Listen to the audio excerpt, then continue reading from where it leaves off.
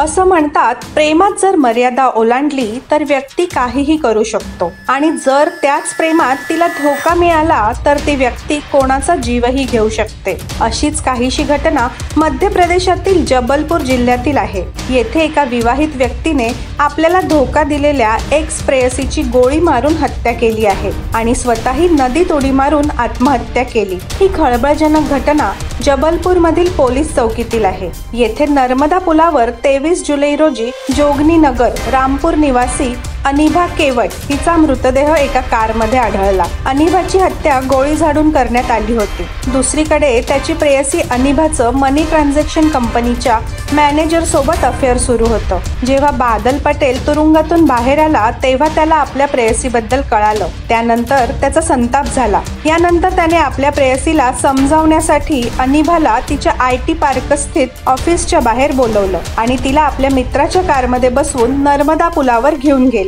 येथे दोघांमध्ये भांडण झालं आणि बादल पटेलने अनिभाला गोळी घातली. यात तिचा मृत्यू झाला. त्यानंतर त्याने अनिभाचा मृतदेह कारमध्येच ठेवला आणि स्वतः नर्मदा नदीत उडी मारली. ताज्या घडामोडी व बातम्या पाहण्यासाठी लगेच सबस्क्राईब करा.